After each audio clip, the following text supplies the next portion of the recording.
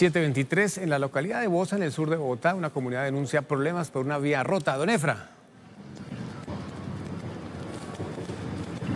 ¿Qué tal, Juan Eduardo? Rota no, está hecha, es un verdadero desastre. Observe usted la vía muy ancha en la calle 56F, una vía muy ancha, llena de comercio, llena de vecinos, vecinos que están acá. Alirio, venga, mostremos por acá, hablemos con la comunidad porque la comunidad se siente muy afectada. Rubén Darío, mire, todos están usando acá tapabocas.